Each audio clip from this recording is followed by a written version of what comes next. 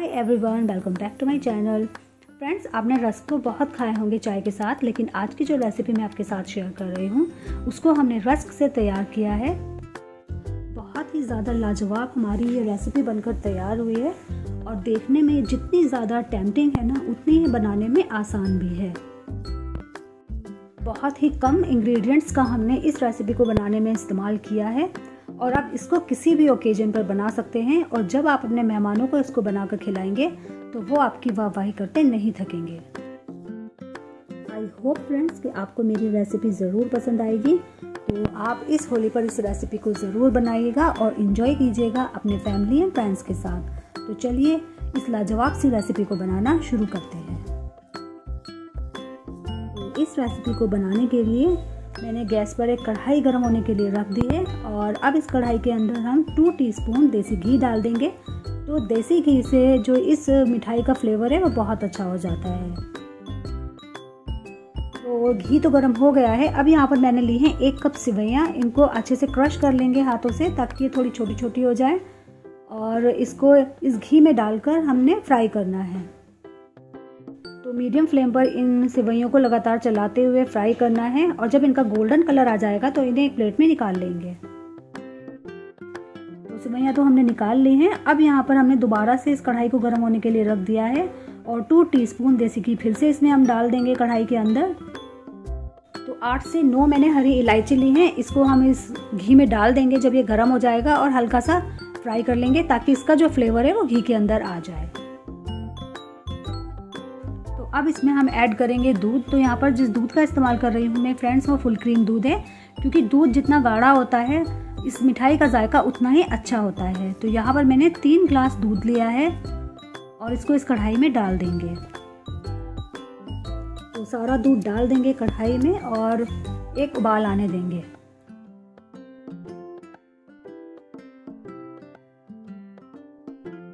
इस रेसिपी के फ्लेवर को और ज़्यादा इन्हेंस करने के लिए हम यहाँ पर इस्तेमाल करेंगे मिल्क पाउडर का। तो four tablespoon milk powder का मैंने इस्तेमाल किया है, जिसको थोड़ा सा दूध डालकर एक घोल रेडी कर लेंगे। तो आप मिल्क पाउडर को स्किप भी कर सकते हैं और इसकी जगह खोए का भी इस्तेमाल कर सकते हैं। तो इसको दूध में डाल देंगे और अच्छे से मिक्स कर लेंगे। तो यहाँ पर मैंने एक कप ताज़ी मलाई ली है, इसको भी इस दूध में डाल देंगे। इससे भी इस रेसिपी का फ्लेवर बहुत अच्छा हो जाता है। और इसको तकरीबन 8 से 10 मिनट के लिए मीडियम फ्लेम पर पकाएँगे।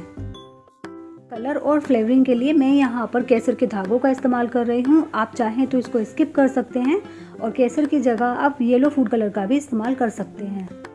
तो इसको भी इस दूध में डाल देंगे और अच्छे से मिक्स कर लेंगे।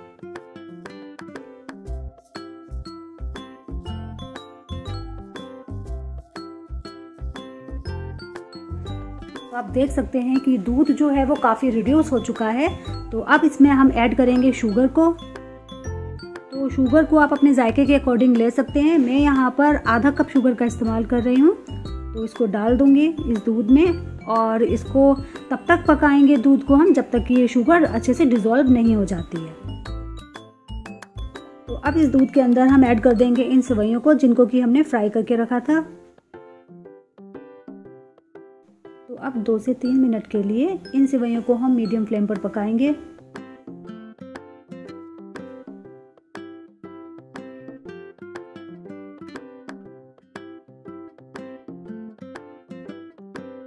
ये देखिए फ्रेंड्स, इनकी कंसिस्टेंसी जो है वो काफ़ी थिक हो चुकी है। ये आप देख सकते हैं। बस अब इनको ठंडा होने के लिए रख देंगे और फ्लेम को ऑफ़ कर देंगे। अब यहाँ पर मैंने ले लिए हैं ये रस्क तो ये सूजी के रस्क भी इन्हें कहते हैं और कहीं कहीं तोश भी इन्हें कहा जाता है। तो यहाँ पर मैंने ये गर्म दूध ले लिया है एक गिलास तो ये हल्का सा गुनगुना दूध है। इसके अंदर हम इन रस्क को डाल देंगे और कुछ सेकेंड डालने के बाद में निकाल लेंगे। बस इन्हें हल्का सा सौगी करना है हमें।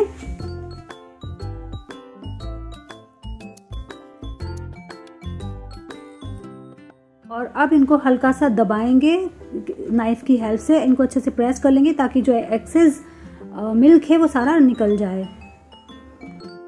और इसी तरीके से बाकी सबको तैयार कर लेंगे और एक इस तरह से ट्रे यहाँ पर मैंने ली है, उसमें लगा दिए हैं। तो मैंने यहाँ पर थोड़े से अनार लिए हैं, इनको भी मैं डाल दूँगी इन रस्क के ऊपर और थोड़े से अंगूर, थोड़ी सी स्ट्रॉबेरी डाल देंगे इन रस्क के ऊपर। आप चाहें तो अपनी चॉइस के अकॉर्डिंग कोई भी फ्रूट्स ले सकते हैं। इनको डालने से जो इस रेसिपी का फ्लेवर है, वो बहुत अच्छा हो जाता है तो फ्रूट्स तो आप ज़रूर डालिएगा।